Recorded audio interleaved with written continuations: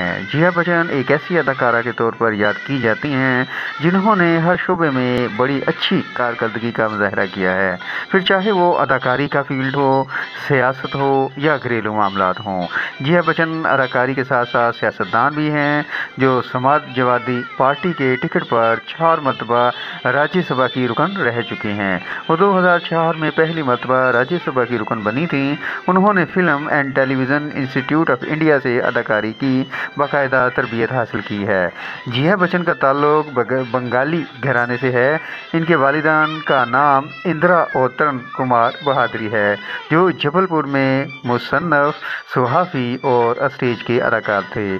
जिया ने अपनी इब्तदाई तलीम भोपाल के सेंट जोसेफ कॉन्टोनेंट स्कूल से हासिल की। जिया बच्चन ने अपने फिल्मी सफ़र का आगाज़ सत्यजीत रे की बंगाली फ़िल्म महानगर से 15 साल की उम्र में किया था। उन्नीस सौ इकहत्तर में बंगाली मजाहिया फ़िल्म धनी में ही। जिया बच्चन की इब्तदाई कामयाब फ़िल्मों में से एक है।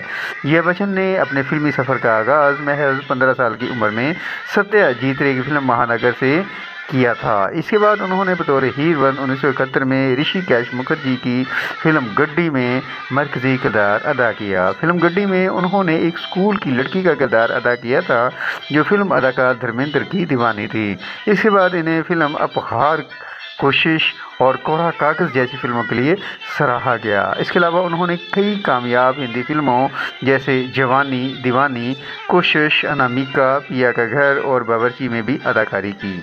उन्होंने अमिताभ बच्चन के साथ भी कई फ़िल्मों में काम किया, जिनमें जंजीर, अभिमान, चुपके चुपके और मशहूर फ़िल्म शोले शामिल हैं।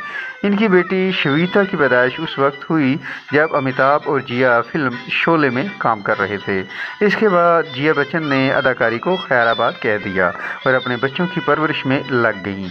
इनकी अदाकारी के तौर पर आखिरी फ़िल्म सिलसिला थी, जिसमें उन्होंने अमिताभ के साथ अदाकारी की थी। इसके बाद उन्होंने फ़िल्मों में अदाकारी को खैराबाद कह दिया। जिया बच्चन ने दो नौ मरतबा फ़िल्म फेयर अवार्ड हासिल किया है, जिनमें पहला अवार्ड उन्नीस सौ छिहत्तर बहत्तर में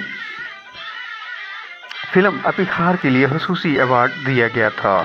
इसके अलावा बेहतरीन अदाकारा का अवार्ड उन्नीस सौ चौहत्तर में फ़िल्म अभिमान के लिए मिला था और 1980 में फ़िल्म नौकर के लिए फ़िल्म फेयर अवार्ड दिया गया। इसके अलावा उन्नीस सौ अट्ठानवे में फ़िल्म हज़ार चौरासी की माँ के लिए खसूसी अवार्ड दिया गया।